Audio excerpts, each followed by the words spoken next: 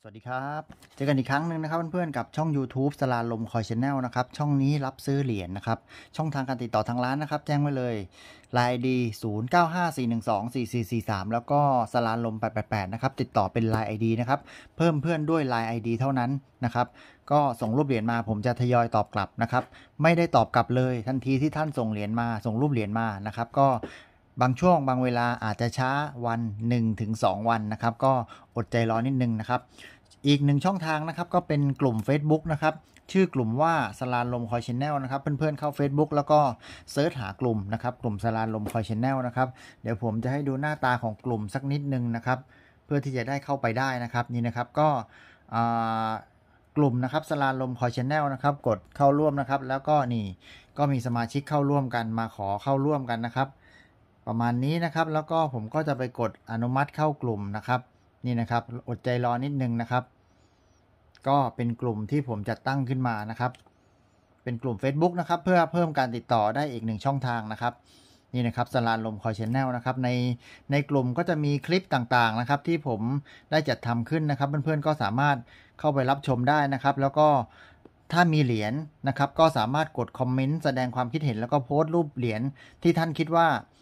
ตรงตามที่ทางช่องผมรับซื้อไว้ได้เลยนะครับ ถ้าเหรียญที่ตรงตามที่ผมรับซื้อผมก็จะติดต่อกลับไปนะครับ ก็สำหรับคลิปนี้เดี๋ยวมาดูนะครับ เหรียญที่มีส่งมาขายนะครับ เหรียญตัวนี้ก็คือประมาณว่ายังไงอะอันนี้ส่งมาจากนครสวรรค์จังหวัดนครสวรรค์นะครับ ไม่เชิงว่าเหรียญเจ้าปัญหานะครับ แต่ก็คือแบบพอทำรับซื้อแล้วก็มันก็มีปัญหานะครับ แต่ก็คือเดี๋ยวมาดูกันนะครับว่า ที่ส่งมาอันนี้คือใช่หรือเปล่านะครับ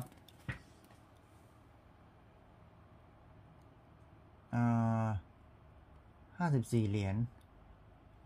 เหรียญที่รัชกาลที่เก้าอันนี้เดี๋ยวผมต้องดูนะครับ คืออะไรห้าสิบ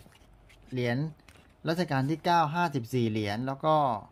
รัชกาลที่สิบสิบเอ็ดเหรียญเดี๋ยวต้องดูนะครับว่าว่าว่ามันเป็นยังไงนะครับ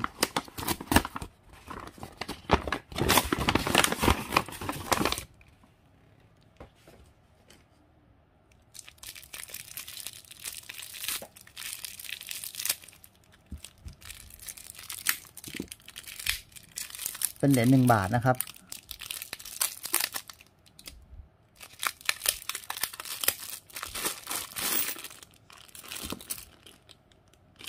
รัชกาลที่เก้านะครับ อันนี้คือที่ส่งมานะครับ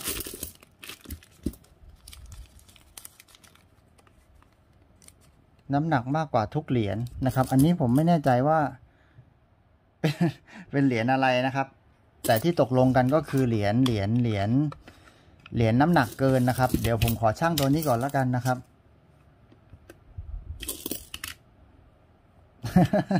ผมโดนอีกแล้วนะครับ รอบนี้นะครับ อันนี้น้ำหนักปกตินะครับสามกรัมนะครับ เห็นไหมครับ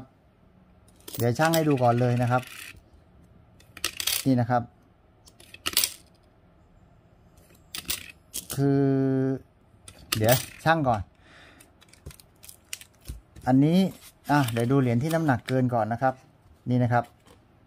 มีหนึ่งเหรียญนะครับ เดี๋ยวขอทดสอบนะครับ แม่เหล็ก โอเค แม่เหล็กดูดติดนะครับ แม่เหล็กดูดติดนะครับ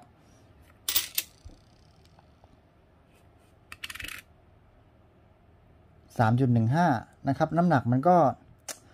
มันหนากว่านะครับ แต่คือน้ำหนักที่ผมรับซื้อประมาณประมาณสามจุดหกนะครับ นี่นะครับ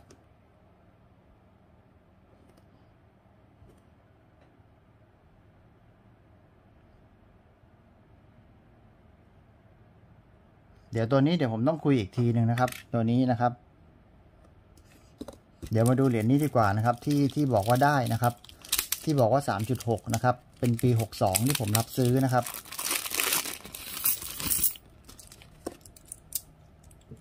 อืมดูจากตรงนี้คือ ไม่แน่ใจว่าจะจะทุกเหรียญหรือเปล่านะครับ อันนี้ไม่ใช่นะครับ เดี๋ยวเดี๋ยวเดี๋ยวเดี๋ยวมันจะสับสนนะครับ ว่าที่เขาส่งมานะครับ อันนี้เดี๋ยวผมแยกใส่ถุงไว้ก่อนนะครับ อันนี้คือเหรียญรอเก้านะครับ ที่เขาส่งมานะครับ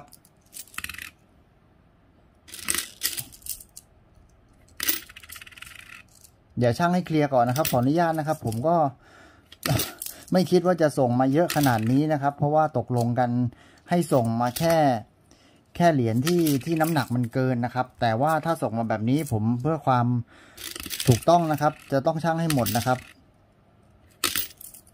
ได้ดูคลิปผมชั่งอีกรอบนึงนะครับ เพื่อนๆนี่นะครับ อันนี้คือคือคือปกตินะครับ น้ำหนักจะอยู่ประมาณนี้นะครับ ก็สมาชิกท่านนี้ก็อ่าเนี่ยเดี๋ยวไม่แน่ใจว่าพัดลมหรือเปล่านะครับ นี่นะครับ ถ้าอยู่ประมาณนี้ก็คือปกตินะครับ เหรียญที่ผมรับซื้อนะครับ เป็นเหรียญตัวหนานะครับ แล้วก็น้ำหนักจะอยู่ประมาณ 3.6 กรัมนะครับ อันนี้คือเหรียญปกติหมดเลยนะครับ ขอช่างให้เคลียร์ไปก่อนนะครับ เดี๋ยวจะได้เอาออกนะครับ เพราะว่าเดี๋ยวเกิดการไม่ไว้ใจกันนะครับ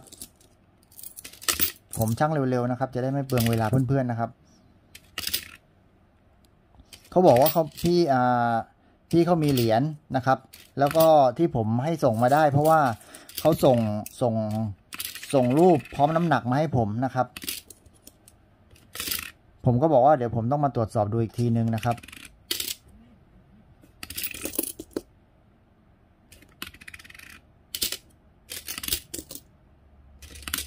ไม่ถึงนะครับไม่ถึง 3.6 นะครับ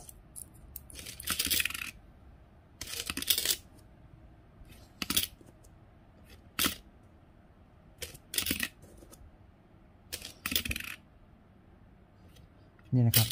อันนี้เดี๋ยวผมแยกออกไปก่อนนะครับ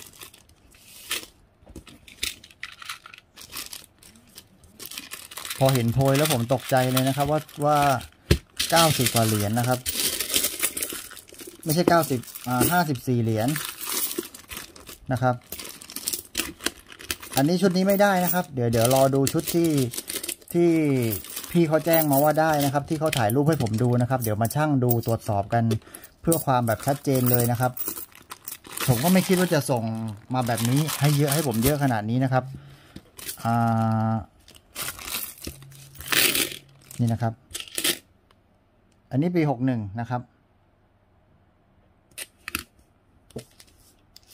อันนี้ก็ไม่ได้นะครับ เดี๋ยวช่างให้ดูนะครับ มองเห็นไหมครับสามจุดศูนย์เจ็ดนะครับ เดี๋ยวจะได้ให้ คลิปนี้เป็นยืนเป็นที่ยืนยันเลยนะครับสามจุดศูนย์หกนะครับสามจุดศูนย์สองสามจุดศูนย์เจ็ดนะครับสามจุดศูนย์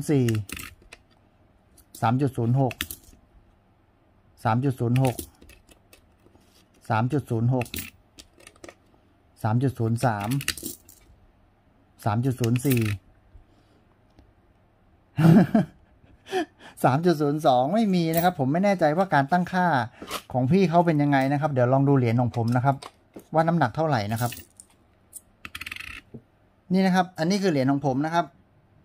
เนี่ยให้ดูเลยเหรียญของผมนะครับ เป็นพยานด้วยนะครับ อันนี้คือเหรียญของผมนะครับ ที่ผมรับซื้อน้ำหนักสามจุดหกสี่นะครับ อันนี้เหรียญของผมนะครับ ที่ผมหยิบมานะครับ อันนี้อีกเหรียญหนึ่งสามจุดห้าเจ็ดสามจุดหกสอง สามจุดหกศูนย์สามจุดหกสองนะครับ อันนี้ไม่ไม่ไม่ใช่นะครับ เดี๋ยวดูรายละเอียดนะครับ เดี๋ยวนับเหรียญดูนะครับ รัชกาลที่สิบสิบเอ็ดเหรียญหนึ่งสองนี่นะครับ รัชกาลที่สิบส่งมาสิบเอ็ดเหรียญนะครับหนึ่งสองสามสี่ห้าหกเจ็ดเห็นไหมครับ เดี๋ยวเดี๋ยวผมนับให้เห็นชัดๆดีกว่า อ่า รัชกาลที่สิบสิบเอ็ดเหรียญนะครับหนึ่งสองสามสี่ห้าหกเจ็ดแปดเก้าสิบสิบเอ็ดสิบเอ็ดเหรียญที่ส่งมานะครับ น้ำหนักไม่ได้เลยนะครับ ผมไม่แน่ใจว่าตั้งเครื่องชั่งยังไงนะครับ ตอนที่ถ่ายรูปให้ผมดูนะครับ เดี๋ยวดูนะครับ เดี๋ยวผมชั่งให้ดูอีกรอบหนึ่งนะครับสามจุดศูนย์เจ็ดทั้งหมดสิบเอ็ดเหรียญนะครับ ที่ที่พี่ท่านนี้ส่งมาหนึ่ง สามสี่นี่นะครับ ไม่ได้นะครับไม่ได้เลยนะครับ ถือว่าเป็นเหรียญปกตินะครับนี่นะครับ ก็ขนาดพี่เขาลงทุนซื้อเครื่องช่างแล้วนะครับเนี่ยนี่อาจจะเยอะกว่าเดิมหน่อยนึง เยอะกว่าปกติหน่อยนึงนะครับ แต่ก็คือน้ำหนักมันก็ยังไม่ได้นะครับ นี่นะครับ สองสี่หกแปดสิบสิบเอ็ดสิบเอ็ดเหรียญครบนะครับที่ที่ส่งมานะครับ ที่แจ้งมานะครับ เนี่ย อันนี้อันนี้ห้าสิบสี่นะครับ อันนี้สิบเอ็ดเหรียญนะครับผมผมนึกว่าผมจะได้เหรียญนะครับ เพราะว่าผมตกลงซื้อเหรียญละร้อยนะครับ นี่นะครับ แล้วอันนี้ของพี่เขานะครับ แยกชัดเจนนะครับ เดี๋ยวผมช่างให้ดูของผมที่ผมรับซื้อนะครับ อันนี้หยิบจาก ของผมเองนะครับ ของพี่เขาของพี่เขาผมเก็บหมดแล้วนะครับสิบเอ็ดเหรียญนะครับ อ่าเดี๋ยวดูของผมนะครับ นี่ของผมนะครับ นี่เหรียญของผมนะครับ เดี๋ยวดูน้ำหนักสามจุดหกห้าสามจุดหกหนึ่งนะครับ เนี่ยดูมันจะหนาหนากว่าเยอะเลยนะครับ เหรียญที่ผมรับซื้อ แล้วก็เข้าใจผิดกันเยอะด้วยนะครับ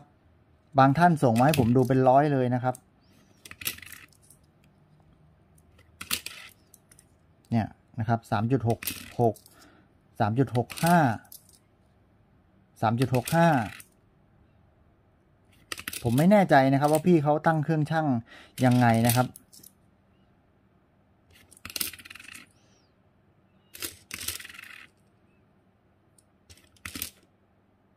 นี่นะครับ อันนี้คือเหรียญของผมนะครับ ผมช่างให้ดูนะครับ ว่าน้ำหนักมันจะอยู่ประมาณนี้นะครับ เห็นชัดเจนนะครับ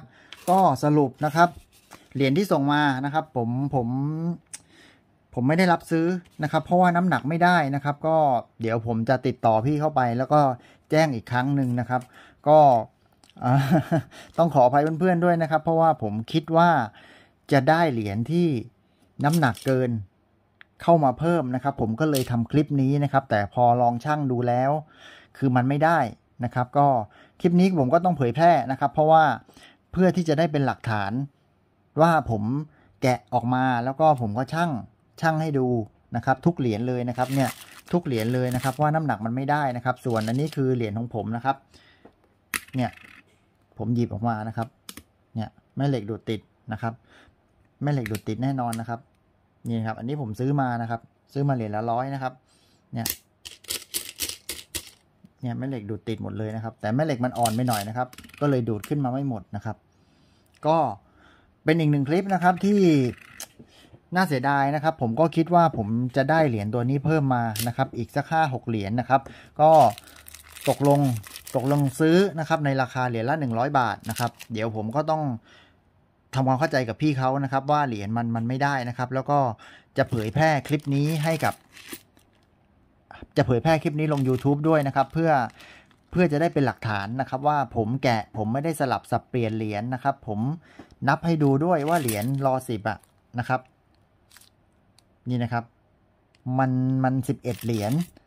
ตามที่พี่เขาส่งมานะครับ แล้วผมก็เก็บใส่ถุงเรียบร้อย11เอ็ดเหรียญแล้วผมก็ไปหยิบของผมออกมาเพื่อที่จะมาชั่งให้ดูว่าน้ำหนักเหรียญที่ผมรับซื้อมันเท่าไหร่นะครับ อันนี้ชัดเจนนะครับ ผมเน้นทำอะไรให้ชัดเจนนะครับ เพราะว่าผมไม่ชอบอามาตามแก้ปัญหาทีหลังนะครับ ก็คือ จะทำอะไรให้เคลียร์นะครับ ก็ประมาณนี้นะครับสำหรับคลิปนี้ก็ต้องขออภัยเพื่อนๆด้วยนะครับ ถ้าเกิดว่าไม่ได้ทำคลิปพั่มเพื่อนนะครับ แต่คือความตั้งใจของผมก็คือคิดว่าจะได้มานะครับ ก็เลยก็เลยเตรียมมาช่างให้ดูนะครับ ว่ามีเจอจริง ๆ นะครับ แต่ก็เดี๋ยวไปคุยกับพี่เขาอีกทีนึงว่า พี่เขาตั้งค่าเครื่องช่างยังไงนะครับ ถึงตอนส่งรูปมาให้ผมถึงเป็นสามจุดหกนะครับ ก็เดี๋ยวผมก็จะไปคุยกับพี่เขาอีกทีหนึ่งนะครับ ก็ประมาณนี้นะครับสำหรับคลิปนี้ ต้องขออภัยเพื่อนๆด้วยนะครับ อาจจะผิดหวังเล็กน้อยนะครับ ผมก็รู้สึกผิดหวังเล็กน้อยเหมือนกันนะครับ ที่เหรียญมาน้ำหนักมันไม่ได้นะครับ ก็ประมาณนี้นะครับสำหรับคลิปนี้เจอกันคลิปต่อไปขอลาไปก่อน สวัสดีครับ